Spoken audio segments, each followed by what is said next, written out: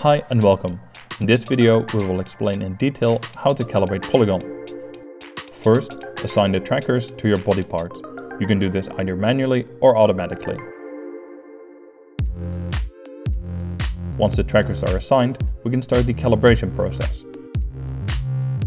Through the calibration, we will be able to create a digital skeleton, reflecting your physical body and the offsets of the trackers. For certain hardware configurations, such as for the Manus Prime X class, there are calibration presets available.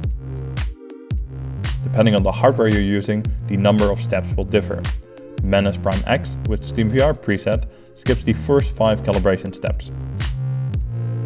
Follow the on-screen instructions and mimic the motions of the Polygon avatar for each calibration step.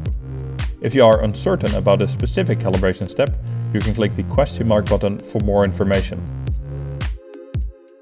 After each step, you have the option to redo it, so no need to worry. We'll go through each step to show you exactly what to do. First, we'll go through the first 5 steps, which will precisely calibrate the hand tracker wrist offsets. With your right hand, hold your left arm just below the wrist and slowly bend your left hand up and down. With your right hand, hold your left elbow Twist your left hand while keeping your arms still. With your left hand, hold your right arm just below the wrist and slowly bend your right hand up and down. With your left hand, hold your right elbow and twist your right hand while keeping your arm still. Stretch your arms forward and put your hands together. Next, we'll go through the following four steps, which are only there if you're using upper arm trackers. These steps will calibrate the position of your shoulders as well as the length of your upper arm. Stretch your left arm forward and place your right hand on top of your left elbow joint. Place your right hand on the tip of your left shoulder, point your left arm forward and hold it still. Stretch your right arm forward and place your left hand on top of your right elbow joint. Place your left hand on the tip of your right shoulder, point your right arm forward and hold it still. Finally, we'll go through the last 6 steps, which will help calibrate the rest of your body. Put your feet together and point them forward.